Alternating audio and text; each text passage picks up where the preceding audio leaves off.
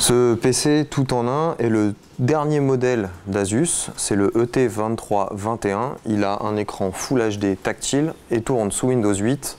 La migration vers 8.1 est possible. Premier point fort de ce PC tout en un Asus, son design. Plutôt bien réussi, ressemblerait presque un iMac, bon de loin, hein, sans, trop trop regarder, on, on pourrait y croire. Euh, il est fin, il a un joli pied et euh, de loin toujours, pourrait presque faire penser à un moniteur normal 24 pouces. Deuxième point fort, le son. Alors euh, c'est quelque chose sur lequel Asus a beaucoup travaillé ces dernières années.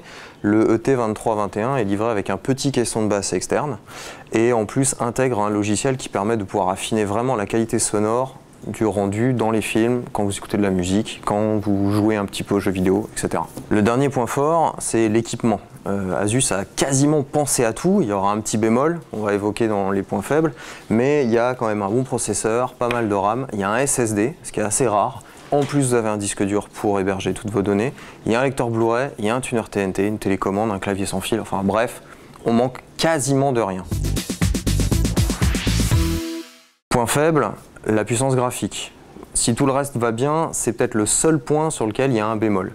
La carte 3D milieu de gamme, pas très puissante, on ne peut pas jouer dans la définition native de l'écran, il faudra plutôt privilégier des petites résolutions et pas trop pousser les détails dans les jeux vidéo. On l'a dit précédemment, il y a un tuner TNT dans la machine, donc on peut regarder la télé avec. Le seul problème, c'est que le logiciel qui permet de regarder la télévision est vraiment pas convivial. C'est un logiciel dont l'interface et l'ergonomie est pas agréable.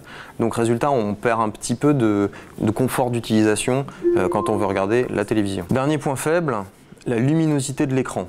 Alors côté contraste, il y a des belles images, etc. Pas de problème, pas de souci, c'est bon. Mais la luminosité est un peu faible. Et pour une machine vendue 1300 euros, ça pêche. Le E ET2321, c'est une machine familiale. Elles se font bien dans le décor, tout le monde peut s'en servir avec les doigts, avec le clavier, pas de problème. Cerise sur le gâteau, on peut en plus s'en servir comme d'un simple écran. À l'arrière, il y a une entrée HDMI, on peut y relier une console de jeu, un PC, n'importe quoi, et, ne s'en servir que comme d'un écran.